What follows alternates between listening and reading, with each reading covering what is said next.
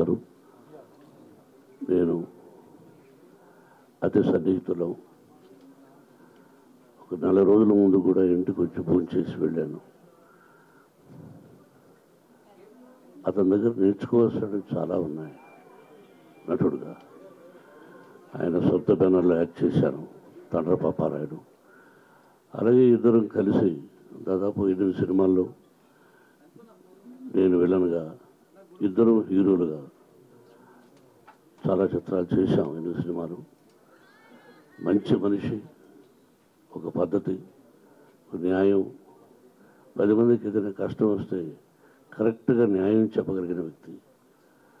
అత్యంత ఆత్మీయుని కోల్పోయాను. ఏదైనా ఫోన్ చేస్తే మంచి సలహాలు ఇచ్చి నన్ను ఒరి అనే వ్యక్తి అలా కాదురా ఇలా కాదురా మోహన్ బాబు. అని ఎంతో ఆప్యాయంగా పలకరించే గొంతు మోగబోయింది. ఆయన ఆత్మకు శాంతి చేకూరాలని భగవంతుని కోరుకుంటున్నాను.